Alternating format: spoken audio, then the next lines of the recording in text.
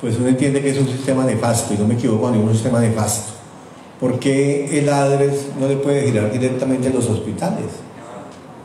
¿Por qué el ADRES, eh, en las IPS, las EPS le giran al ADRES el 50% y se quedan con el 50% en sus arcas para pagar burocracia?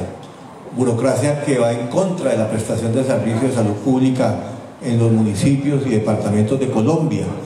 Y yo creo que es ahí donde me ratifico nuevamente con que una de las grandes reformas que tiene como reto el presidente Petro es una reforma profunda al sistema de salud público de Colombia, donde creo que algunos sobran en intermediación como las EPS. Algunos salen a abogar por las EPS, pero es que como el que no padece, pues no siente, y los que padecemos somos los que sentimos, y obviamente nosotros que representamos a los ciudadanos, en este caso al departamento, en el caso de ustedes en sus municipios, y uno no puede estar mendigándole a una EPS que nos pague la plata que el hospital ha prestado de buena fe, de buena gana. Por eso me decía la gerente de salud total que le daba tristeza como atendían en los hospitales a la gente. A mí me da más tristeza que las EPS pues no le giren la plata a los hospitales como tiene que ser. Entonces, conmigo cuentan y vamos a seguir librando esta batalla. Esta batalla no es de, populismo, esta batalla no es de figuraciones personales. esta batalla es una batalla del Tolima para Colombia, para decirles que aquí hay que tener carácter y raquera y tenerlas bien puestas para exigir lo que la gente necesita. Y yo creo que necesitamos un buen servicio de salud y necesitamos los recursos de manera rápida, eficiente y directa. Ustedes no se imaginan eh, la lucha que hemos tenido con el Federico Lleras en este mes para poder garantizar la operación. Es que están colocando en riesgo es la operación de los hospitales. Están colocando en riesgo es el oxígeno, los medicamentos, están colocando en riesgo los elementos quirúrgicos, están colocando en riesgo la comida, el transporte, la universidad, el colegio de los trabajadores de la salud. Y yo creo que hay que hacer una protesta a nivel nacional y decirles, no, es que es en serio. Esto no es un berrinche del gobernador del Tolima ya que se le ocurrió decir lo que dijo, no, esto es una lucha permanente y de frente para que el sistema de salud colombiano se modifique. El sistema de salud debe cambiar y la intermediación debe desaparecer en Colombia y los recursos deben ser girados directamente a los hospitales y obviamente también es un compromiso nuestro como entidades públicas de garantizar que estos recursos no vayan a la burocracia excesiva, a la contratación amarrada, sino que sean también unos elementos transparentes en el tema de contratación pública en los hospitales, que sea también el gasto mesurado y necesario también en los hospitales, para que realmente los hospitales también pues demuestren que no era necesaria la intermediación y que realmente podemos tener hospitales eh, estables financieramente y no hospitales quebrados. Yo he hablado con muchos de los alcaldes, hoy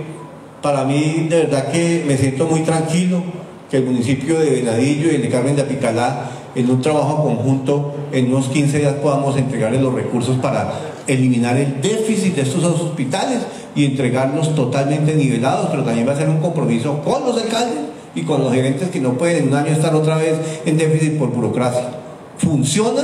con lo estrictamente necesario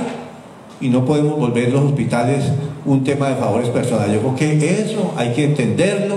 sabemos que la gente necesita, pero hay que tener un grado de responsabilidad. Con Flandes estamos haciendo un ejercicio con otros municipios,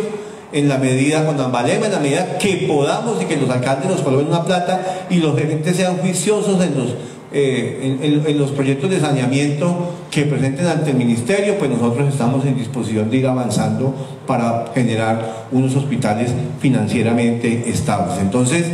Marta queda pendiente del día jueves,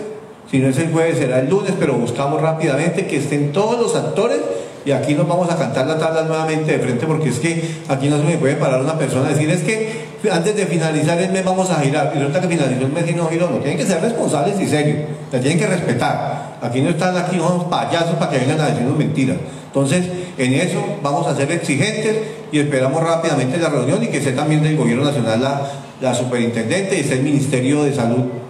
como debe ser. Hoy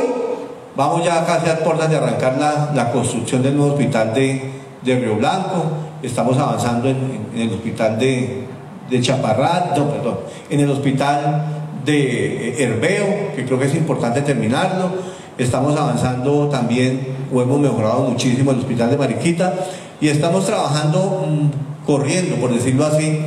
para tener los estudios y diseños del nuevo Hospital Regional del Sur del Departamento del Tolima, que se hará en Chaparral, un hospital que supera los 2.000 metros de construcción, un hospital moderno y un hospital que este gobierno tiene la plata en regalías para garantizar y que obviamente le va a servir para prestación de segundo nivel a todos los hospitales de esa zona de influencia del hospital de Chaparral. Entonces, yo quiero decirles que mi compromiso de verdad, esto no es un no es un compromiso de que me digan que soy el gobernador de la salud, creo que es lo de menos, es un compromiso mío, personal, de mi tragedia familiar que he vivido con mi esposa, que gracias a Dios la he superado, pero que es una tragedia que viven miles y miles de tolimenses que no tienen cómo acceder a un servicio de salud real y eficiente. Por eso yo hoy ratifico, alcaldes, gerentes, que nosotros vamos a entregar el 31 de diciembre del año 2023 un hospital que tiene que estar a la altura de la Clínica Santa Fe de Bogotá. Y esa altura de la Santa Fe de Bogotá es para todos los tolimenses, para la gente que no tiene hoy cómo acceder a servicios de cuarta complejidad y que yo espero de la mano de Dios podamos tener aquí en el Federico Llera, que podamos hacer nuestras cirugías de corazón abierto, nuestros trasplantes de órganos en el Federico Llera Acosta, que podamos hacer el tratamiento completo oncológico aquí en el Federico Lleras Acosta, que podamos tener nuestros peces CAN aquí, nuestra parte de medicina nuclear la podamos tener acá, que Dios quiera. Yo tendré que hacer el esfuerzo para que podamos tener el Da Vinci, que es el, robot más moderno para todo el tema de cirugía en la paroscopia, que es bien importante y que nos colocaría realmente en una prestación del servicio público de calidad. Y también demostrarle a Colombia de que cuando el sistema de salud se maneja de manera transparente, correcta, honesta, el sistema de salud es sostenible. Y esa sostenibilidad termina en prestarles servicios de calidad a la gente más necesitada. Los estratos 1, 2 y 3, y ustedes lo saben, alcaldes, alcaldesas, si están acá, de que eso realmente tiene un impacto. Y yo para terminar, yo le digo a alcaldes que uno en la política y en lo público, uno siempre quiere quedar bien con la vía pavimentada, entonces en esa cuadra a usted lo aplauden, pero hay 20 cuadras más donde le echan a uno la vieja porque no ha pavimentado, ¿sí o no? Entonces, y así muchas actividades. En cambio, en cambio, la salud es un tema universal. Porque cuando usted tiene un buen hospital, ahí va el rojo, el verde, el negro, el de la derecha, el de la izquierda, el del centro, el que no vota, el católico, el no católico, ahí va absolutamente todo, el estrato 1, el 2, el 3, el 4, el 5, el 6, y es donde usted está realmente apostándole como gobernante a impactar de manera universal en la población de su entorno. Eso lo tengo muy claro y yo creo que ustedes lo tengan claro, alcaldes y gerentes. Esa es la única actividad, creo, en lo público que impacta al 100 de la población de manera transversal. Por eso tan importante, tan importante tener una prestación de servicio público de salud de calidad, oportuna, eficiente y lo más importante, digna para los usuarios. Aquí hacemos hoy entrega de estos recursos, esperamos poder avanzar mucho más en equipos biomédicos, en ambulancias, creo que hacía muchos años, los que llevan tantos años en, la política y en todo este tema, Giovanni, que ya lleva como cinco de alcalde, yo creo que nunca en el Tolima habíamos entregado tantas ambulancias como hemos entregado acá. Y entregar ambulancias, pues significa entregar herramientas a los hospitales para poder salvar vidas. Entregar equipos biomédicos modernos significa entregarle herramientas para mejorar la facturación, pero también entregarle herramientas a los hospitales para salvar vidas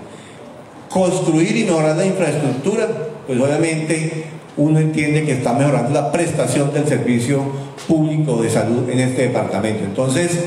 queridos alcaldes, queridos gerentes,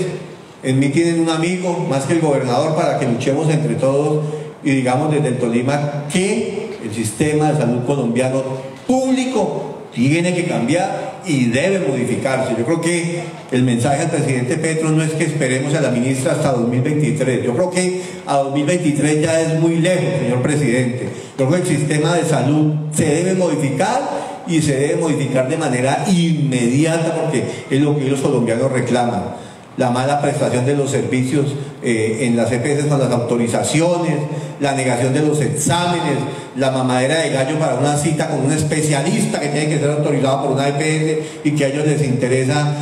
que pase lo que pase, una cirugía que tiene que ser de manera urgente hasta que la EPS no lo autorice y tienen que durar 6, 7 meses para que una EPS autorice y después de pronto cuando lo autorizan ya la persona fallecido. Yo